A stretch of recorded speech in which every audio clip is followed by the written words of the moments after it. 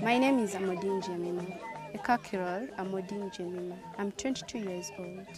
I come from Bukedea district and I'm from the Irarak Itasoro clan. One of the tourism attractions we have in Teso, Nyero Reko painting.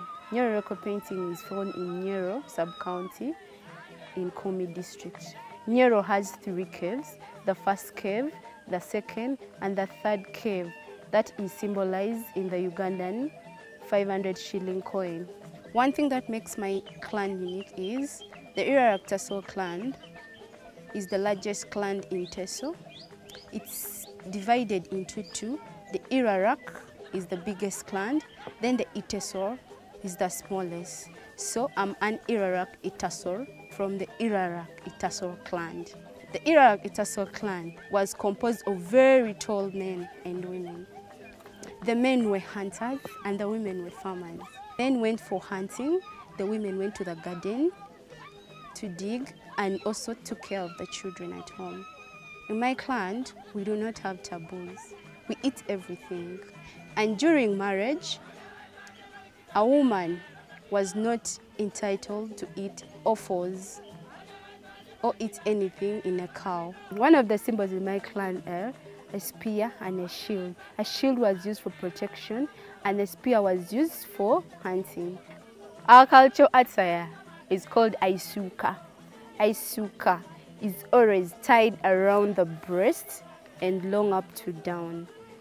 You can style it in different ways and this was worn by our great great grandparents but now we dress in gomeses, in functions, and Aisuka most times is used by our grandparents when they're at home. Our traditional dance is called Akogo. As I'm going to show you how the Akogo dance is done.